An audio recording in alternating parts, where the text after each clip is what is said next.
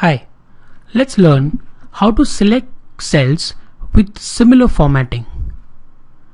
Let's say we have data like this in which every alternate cell is marked red and bold.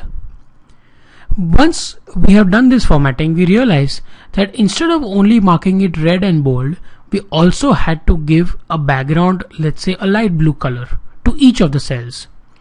Now here there are only few cells so we can manually select and do it very easily. What if you had to do this for 100 cells? It would have been a big task.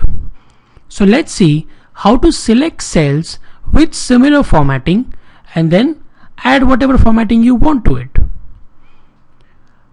First click Ctrl F. So the find box opens up. Click on options. Click on format. From here click on choose format from cell. So what are we going to do now is we are going to pick up the formatting from one of the existing cells. So we click here. Now you see a paintbrush kind of an icon has come up. You click on one of the cells. Now you see a preview of that format.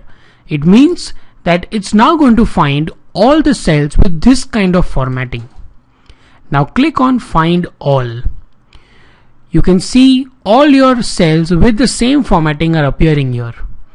To select all of them, simply press Ctrl A.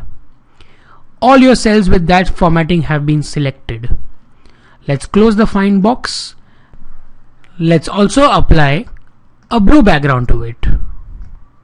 We are done.